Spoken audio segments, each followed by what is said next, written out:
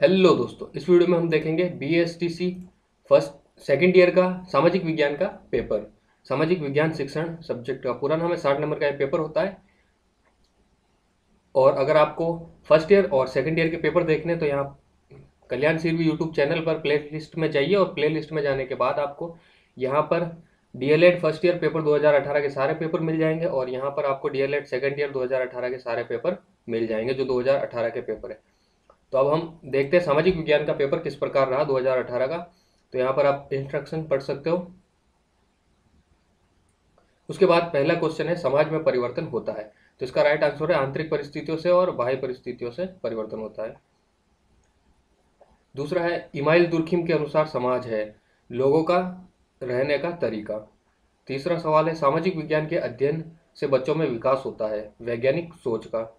इतिहास लेखन के लिए मौलिक साक्ष्य है वो है अभिलेख भवन, मुद्राएँ, उपरोक्त सभी राइट आंसर है। फिर अगला क्वेश्चन है दो नंबर का। बहुत ही अच्छा पेपर है ये। सामाजिक का बहुत इजी पेपर आता है। अगर आप एक सप्ते में अगर तैयारी करते हो सामाजिक की तो भी आप पासिंग मार्क्स आराम से ला सकते हो।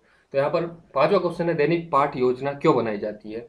दो नंबर का क्वेश्चन है। फिर अगला क्वेश्चन है, भाषण विधि की दो हानियाँ बताइए।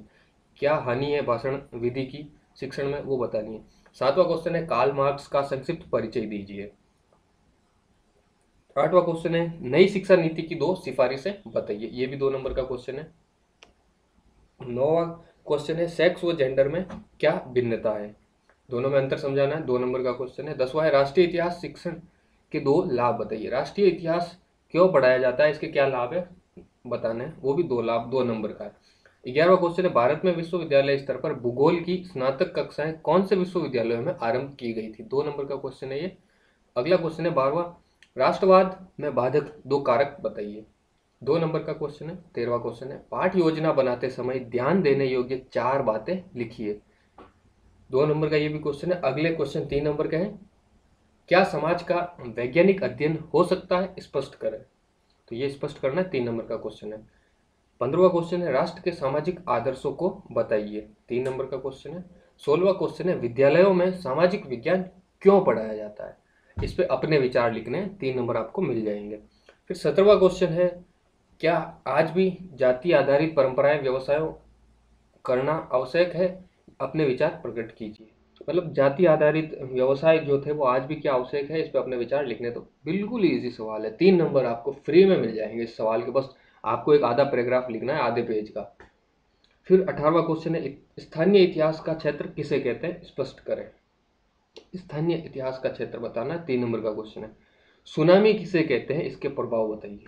सुनामी का अर्थ बताना है और इसकी परिभाषा देनी है और इसके प्रभाव बताना है, तीन नंबर मिल जाएँगे। फिर आगे के क्वेश्चन जो सारे, पाँच नंबर के हैं, पाँच क्वेश्चन है, पाँच नंबर के।